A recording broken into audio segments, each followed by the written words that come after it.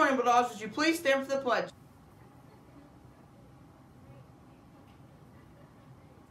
I pledge allegiance to the flag of the United States of America and to the republic for which it stands, one nation, under God, indivisible, with liberty and justice for all. A STLP meeting on Wednesday from 3 to 4. Make sure you have your STLP project planning form before it is turned in. Two the poll will take place tomorrow morning at 7:30 a.m. Any student or teacher waiting to participate, please meet out in front of the school tomorrow. Peppa Pig. What do you get when you cross a teacher and a vampire? What? Lots of blood tests. Lady Dogs have a game against Stuart Pepper Middle School at 5:30 at Stuart Pepper Middle School. Also, your football team has a game at 5:30 today at John Hardin.